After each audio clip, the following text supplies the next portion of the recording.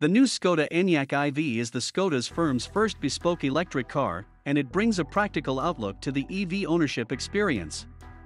The Skoda Enyaq is an EV with a great depth of ability. Its ride, refinement and practicality are the key elements here, while onboard tech and solid performance play strong supporting roles. We'd like a little more range and stronger brake regeneration, but dynamically the car is good. We'd add 125 kilowatts charging to boost flexibility too, but at the Enyaq's core is a likable, and even luxurious, refined personality that convincingly catapults Skoda into a new era. With prices from £31,995, including the recently revised £2,500 plug-in car grant, roughly the same as the entry-level Kodiaq TDI 7-seater.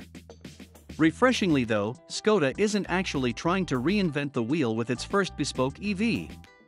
Instead, it feels like it's sticking true to its values with a practical, high-quality, usable EV that delivers decent technology and is relatively affordable. The 0 to 62 miles per hour sprint takes 8.5 seconds, but the benefit is that the Enyaq is supremely relaxing.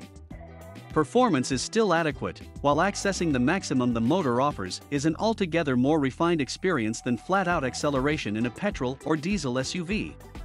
There's very little motor whine. However, we would like an extra, more aggressive brake regeneration setting to help make one-pedal driving easier.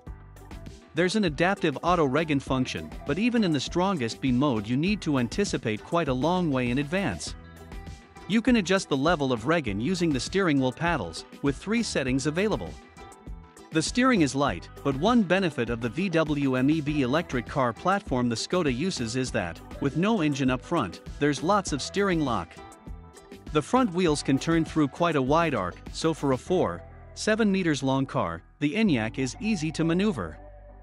The other benefit the bespoke EV platform brings is that the wheels can be pushed to the extremes of the vehicle's footprint. Combined with no central transmission tunnel in the rear, there's an impressive amount of room inside, while boot space is great, at 585 liters. This overall feeling of airiness inside is helped by the Enyaq's deep dash. It creates a space for a head-up display that projects info on the windscreen and the driver's eye line, such as sat-nav instructions that grow in size as you approach a turn. A pair of screens are standard, a smaller panel ahead of the steering wheel shows basic info with good clarity, while the 13-inch center screen has great graphics and responds very fast. However, the climate control is all touchscreen operated, while the volume control is a touch-sensitive slider. It's not always the easiest to use on the move, but then, steering wheel controls get around this.